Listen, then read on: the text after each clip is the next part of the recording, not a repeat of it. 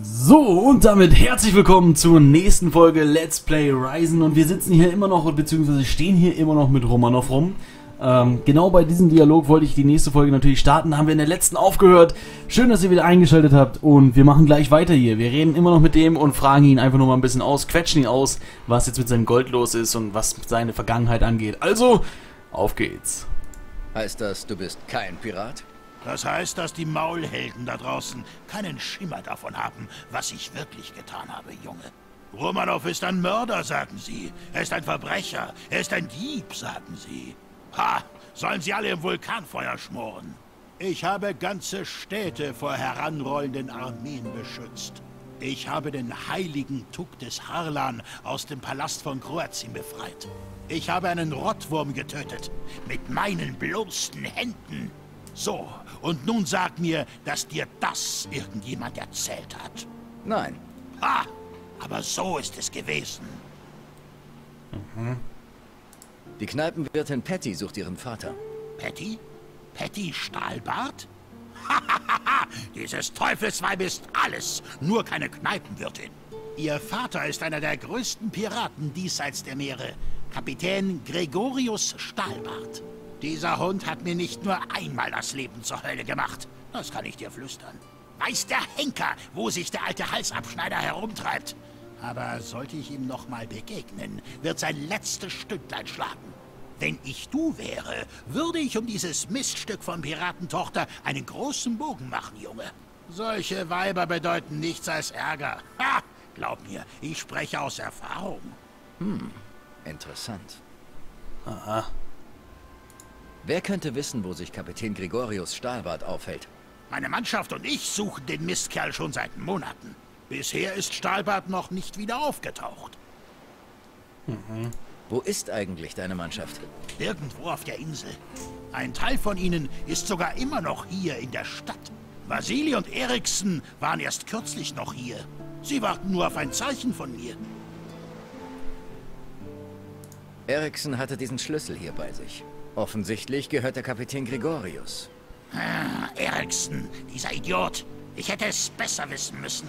Den hat er doch bestimmt einem der Freudenmädchen abgenommen. Ah, das sieht ihm ähnlich, diesem elenden Mistkerl. Wenn ich den erwische. Was macht ein Freudenmädchen mit Stahlbarts Schlüssel? Ein Kerl wie Stahlbart hat überall seine Mädchen. Ich wusste, dass eins in Sonjas Bordell arbeitet. Eriksen sollte nach dem Mädchen suchen und durch sie etwas über Stahlbart herausfinden. Und hm? was macht dieser Mistkerl? Lässt sich seine Beute abnehmen.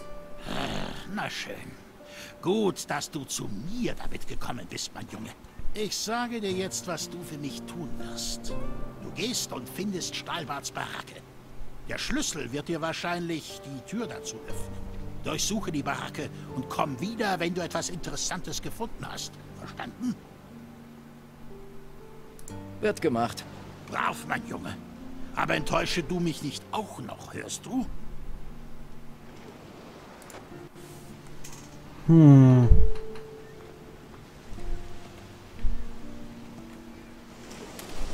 Wo soll denn jetzt die Baracke sein? Was ist? Gerade nicht. Oder warte mal, soll ich vielleicht nur die ganzen, die ich fühle, ich äh, spreche nur mal komplett mit ihm.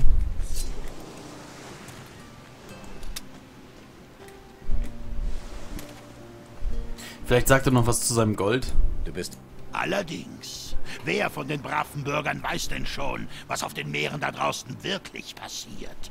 Alle reden von der Bedrohung durch die emporgestiegenen Tempel. Ha! Aber das ist mein Witz. Ich sage dir, es wird noch viel schlimmer kommen. Ein Sturm ist im Anmarsch. Ich habe es selbst gesehen. Ein Sturm, den niemand aufhalten kann. Nicht einmal dieser eingebildete Inquisitor mit seiner weißen Armee. Du scheinst den Inquisitor... Ha! Was denkst du, wer mich hier eingebuchtet hat, du Schlaumeier? Aber eins kann ich dir sagen. Wenn ich hier wieder rauskomme, kann er was erleben. Die Tür ist offen. Du bist frei. Meinst du etwa, diese marode Tür dort hätte mich daran hindern können, hier rauszukommen? Glaubst du das? da kennst du mich aber schlecht, mein Junge. Wenn ich gewollt hätte, wäre ich schon über alle Meere. Du erwähntest gerade dein Gold. Ich hab dir gesagt, dass du mich nicht danach fragen. Ja, richtig. Ich erinnere mich. Dann halte dich daran. Sonst wird es dir schlechter gehen. Warum fliehst du nicht? Ich habe hier in dieser Stadt noch was zu erledigen. Eines Tages werden die Weißen im Dreck liegen und die Stadt wird wieder Don Esteban gehören. Ich werde mir ein großes Stück aus dem Kuchen herausschneiden, wenn es soweit ist. Ich werde erst mal hier bleiben und auf meine Chance warten. Ein bisschen windig in deiner Zelle hier. Wind macht einem wahren Seemann nichts aus. Doch dieser elende Gestank in diesem Loch macht mich doch wahnsinnig. Hör zu, mein Junge. Ich trage schon seit 30 Tagen dieses stinkige Schwitzhemd an meinem Leibe. Meine Kleidung ist mittlerweile so speckig und dreckig, dass ich sie in die Ecke stellen könnte. Oben im Lagerhaus am Hafenkai steht meine alte Seemannskiste. Ich habe darin eine Schatulle mit meinen Klamotten eingelagert. Wenn du mir die hierher bringen könntest, würde ich ein paar Münzen dafür springen lassen. Was meinst du? Abgemacht. Ich werde dir deine Schatulle bringen. Braver Junge. Hier hast du den Schlüssel zu meiner Seemannskiste. Sie steht im obersten Stockwerk des Lagerhauses am Hafenkai. Ist nicht leicht zu erreichen, aber ein schlauer Kerl wie du wird sie schon finden, was? Aber beeil dich! Und vor allem komm sofort wieder zu mir und lass niemanden an meine Schatulle, klar? Sind wohl recht wertvoll, die Hemden in deiner Schatulle, was? Hm, Lass das quatschen! Beweg dich!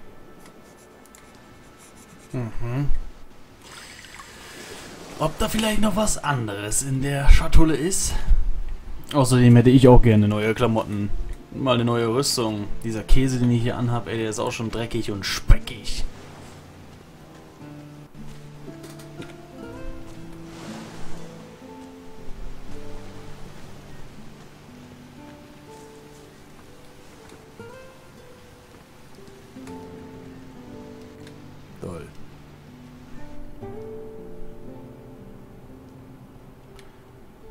Geht echt einfach hier. In diesem Spiel.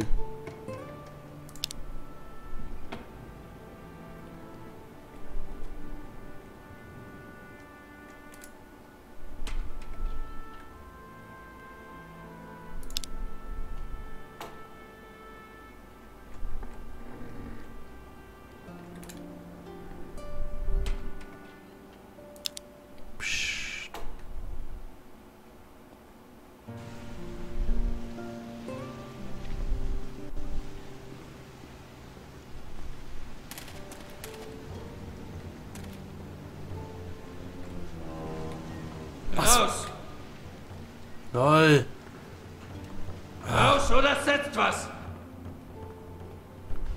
Komm her! Typen wie dich will ich hier nie wieder sehen.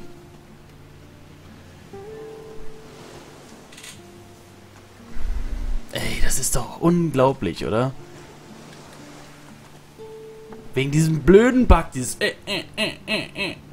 War das jetzt, ist das jetzt versaut gewesen? Mach was anderes. Jetzt muss ich wieder da rumschleichen, ey.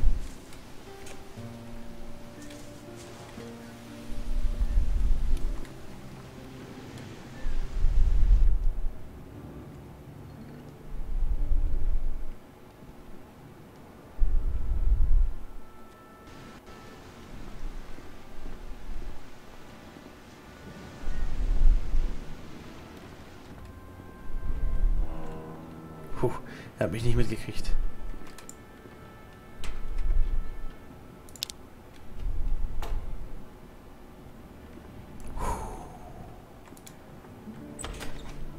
Leise. Dieberisch. Dieberisch. Diebisch.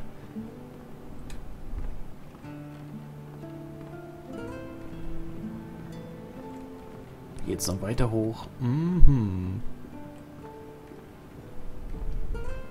Ich werde das ganze Lagerhaus hier auf den Kopf stellen. Yay!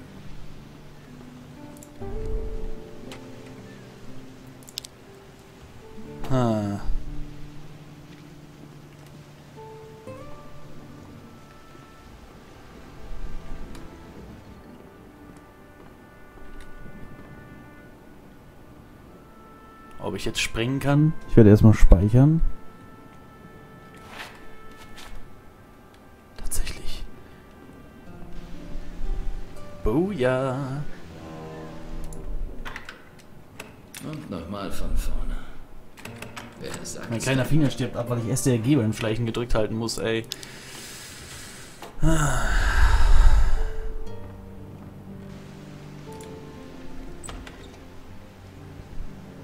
Ein Wolfsfell, Alter. Wolfsfälle habe ich doch genug. Ich brauche noch Schweinsfälle.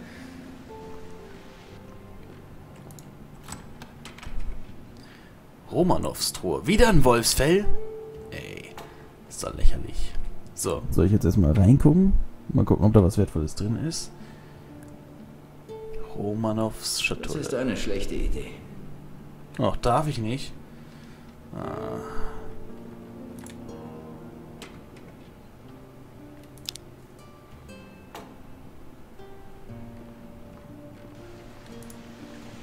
Ich darf's nicht, Leute.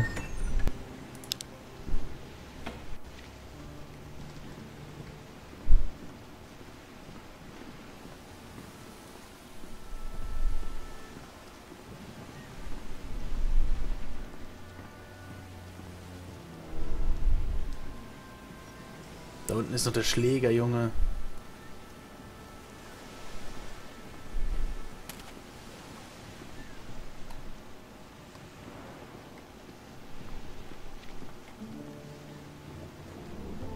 Raus!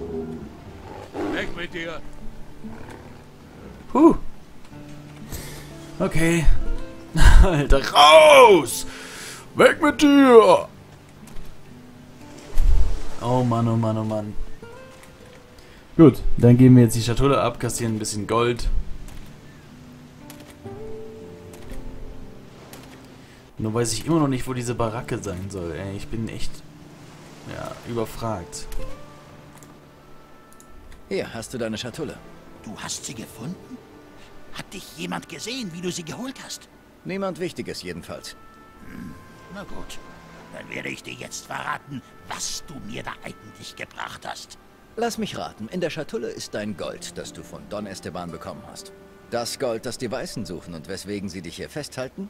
Wer hat dir das verraten, du Bengel? Lag auf der Hand. Na, verdammt, das, das geht nicht. Ich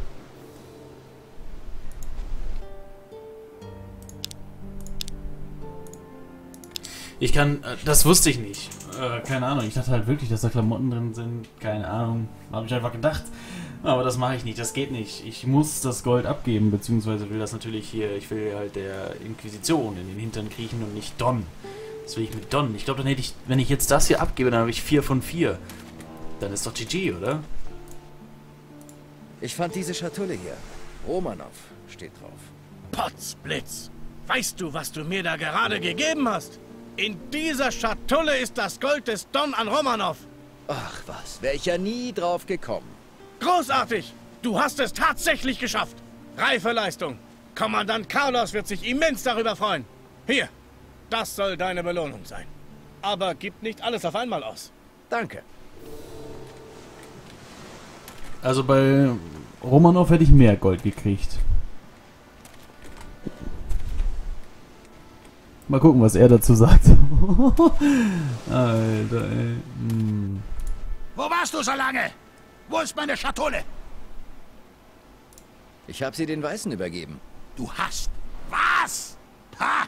Ich hatte sowas schon geahnt. Na schön. Das werde ich mir merken. Man sieht sich immer zweimal im Leben. Und jetzt geh mir aus den Augen.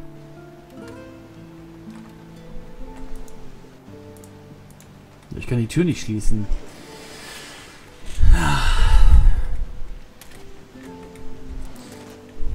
Toll.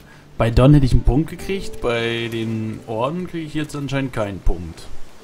Zumindest stand da nicht 4 von 4. Ach, ich wollte eigentlich ins Wasser springen. Damit ich da auf der anderen Seite lande. Hoja!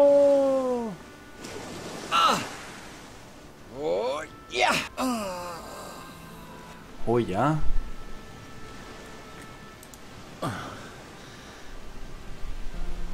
Der übelste Nichtschwimmer, ey. Oh Mann. Einfach nur ein Nichtschwimmer. Einfach nur ein Nichtschwimmer. Einfach nur ein Nichtschwimmer. Ich hörte, du gehörst zur Mannschaft von Kapitän Romanov. Na und? Ich möchte mal wissen, was dich das angeht. Hau doch endlich ab, Mann. Hier sind die drei Drillinge da. Gut, drei Drillinge wäre auf jeden Fall doppelt gemoppelt. Was? Wer ist in dieser Stadt für den Das ist interessant, glaub ich. Hinten im Lagerraum hinter unserem Waschraum sitzt Scordo, einer von Don Estebans Männern. Das Bild an der Wand im Waschraum hat einen geheimen Schalter. Er wird dir die Geheimtür zu Scordo öffnen. Keine Ahnung, was der da den ganzen Tag treibt. Aber ich weiß, dass er dort etwas bewacht. Die Tür am Ende des Ganges in dem Lagerraum hinten scheint ihm unheimlich wichtig. Den Schlüssel zur Tür trägt er immer bei sich. Wenn ich du wäre, würde ich da mal nachsehen. Danke. Jederzeit wieder.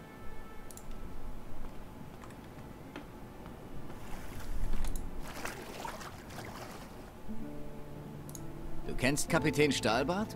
Ach, ich wünschte, ich hätte mich nie mit ihm eingelassen. Das Blaue vom Himmel hat er mir versprochen. Und dann war er eines Tages einfach verschwunden, der Schuft. Alles, was er mir hinterlassen hat, war diese stinkende Baracke in der Gosse. Und was hat sie mir gebracht? Nichts als Ärger. Ich will nichts mehr damit zu tun haben. Also lass mich damit in Ruhe, okay? Baracke in der Gosse? Kann ich das nicht als freie Wohnung benutzen? Baracke in der Gosse, unbedingt merken, Leute.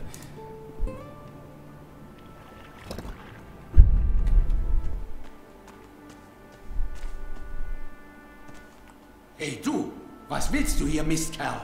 Wer hat dich geschickt? Ich dachte, ich räume hier mal auf. Erzähl kein Mist, Mann. Also, wenn du gekommen bist, um mich herauszufordern, dann nur zu. Ansonsten erzähl mir, was du kaufen willst. Und verschwinde wieder.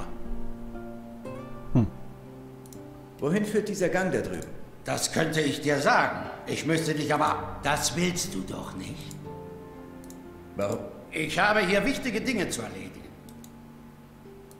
Ich glaube eher... Hast du was ausgefressen? Mach ruhig so weit. Ich... Du siehst... Lass uns...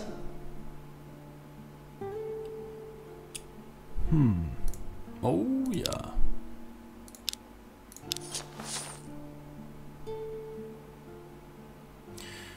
Nee. Na, na, na, na. Kannst froh sein, dass ich sie dir...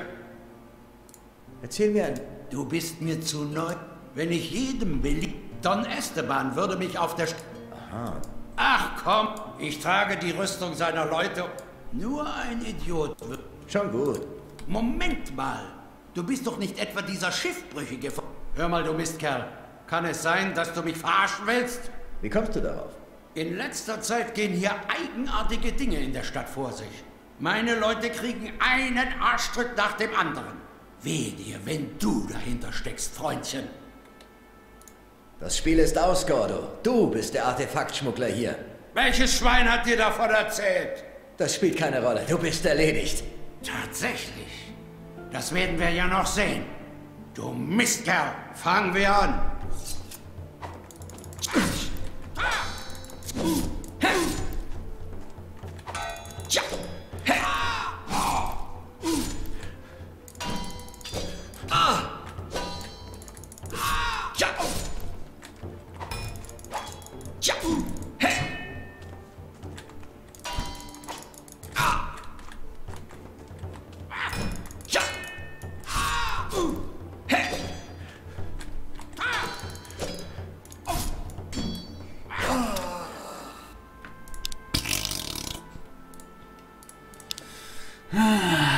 Der Typ ist auch stark.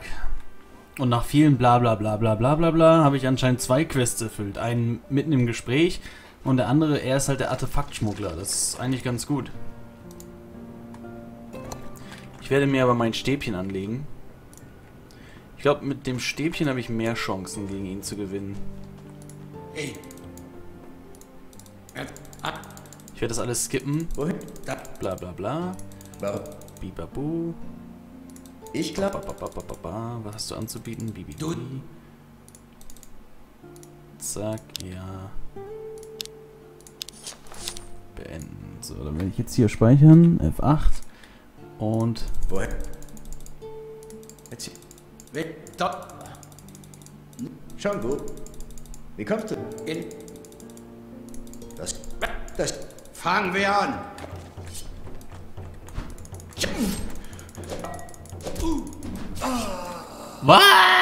Das darf nicht wahr sein. WTF, das kann doch wohl nicht... Alter, der gibt mir Two-Hit. Er gibt mir einfach Two-Hit. Ja, einfach, einfach Two-Hit. Er gibt mir einfach zwei Hits und schon liege ich da. Er gibt mir einfach zwei Hits und schon bin ich am Boden. Er gibt mir einfach zwei Hits und schon sind wir weg.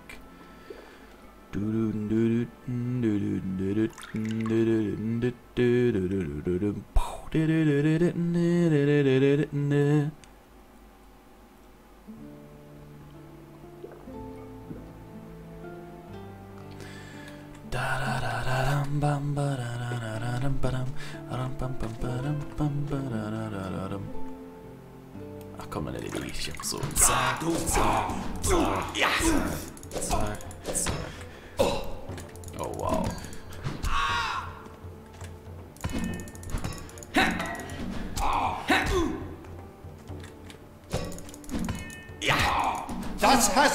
jetzt davon. Okay. Das schaffe ich auch nicht. Toll, toll. Oh Mann. Ich werde mich mal mit meinem Zweihänder ausstatten. Diesem großen Zweihänder, den ich jetzt habe, werde ich mich einfach mal ausstatten und mal gucken, ob äh, ich dann gegen ihn ankomme. Ein Versuch ist es wert. Kann. Skip, skip, skip, skip, skip, skip, skip, skip, skip, bip, bip, bip, bip, bip, bip, Wie? Das. Das. Fangen wir an. Ja.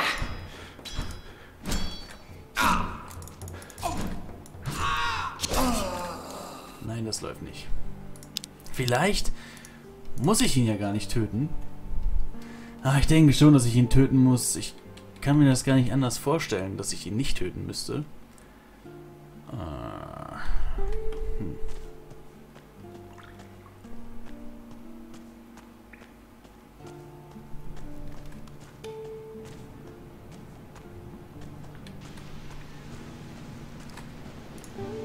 Oh, Äpfel. Zack, meins.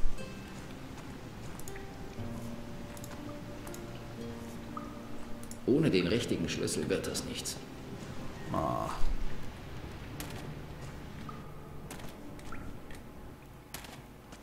Ohne den richtigen Schlüssel wird das nichts. Auch nicht. Der Typ ist aber so stark.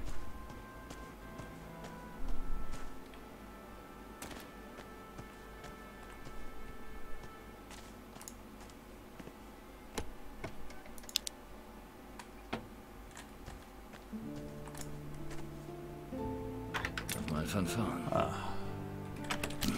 Abgebrochen. Geschafft. Auch eine Kombo, die ich noch nicht kannte.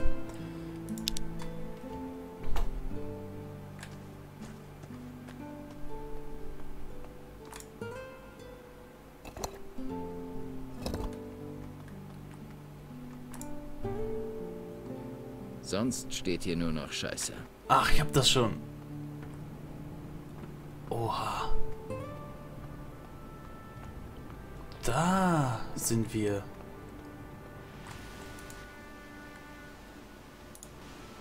Aha. Da komme ich also raus, aus dem Haus da. Aber was macht das für einen Sinn für Banditen? Die gehen doch nicht durch das Haus und...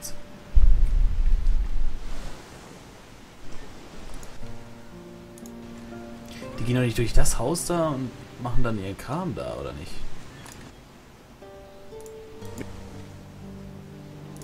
Ich hab... Sehr gut. Wie läuft? Ich arbeite. Gut. Zeit. Gut, Leute, es führt kein Weg dran vorbei. Ich muss den Typen legen. Wie genau ich das schaffe, weiß ich noch nicht genau, weil ich keine zwei Schläge von ihm aushalte. Und Das macht die ganze Sache extrem schwer. Aber davon lassen wir uns nicht runterziehen, lassen wir uns nicht runterziehen, lassen wir uns nicht runterziehen. Nein, das tun wir nicht. Lassen wir uns nicht runterziehen, lassen wir uns nicht runterziehen. So. Woher? Nochmal. Jetzt- Ach komm, ich Nur? Schon in Ma Na gut, warte. So, jetzt. Das. Tatsächlich fangen wir an.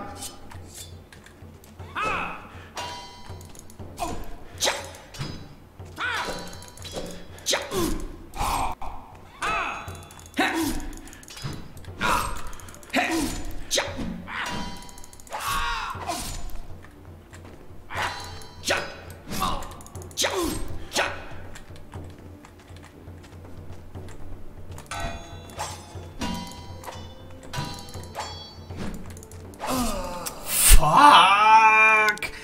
Mann, er darf mich keine zweimal treffen. Dann ist vorbei. Das ist genauso wie gegen Bronco. Lol, ich habe einen Fehler. Toll. Das Spiel ist jetzt wieder am Abstürzen. Leute, ich werde diesen Kampf einfach beim nächsten Mal wieder versuchen. Sind jetzt auch schon wieder bei 26 Minuten. Also das ist der Hammer, wie schnell mit diesem Spiel die Zeit vergeht.